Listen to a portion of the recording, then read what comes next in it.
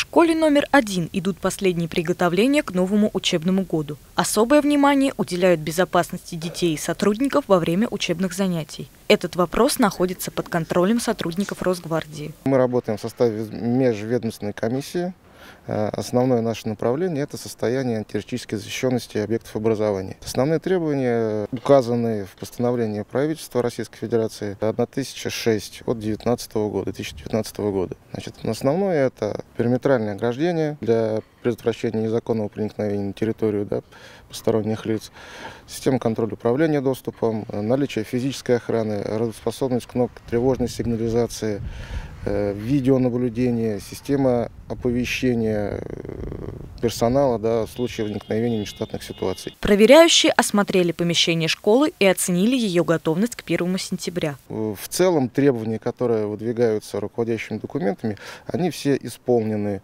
То есть э, наличие инженерно-технических средств безопасности, их работоспособность, целостность периметрального ограждения. Сотрудники частная охранная организация также обеспечивает безопасность физической охраны на данном объекте. Надежда Лукашина, Владимир Новоселов.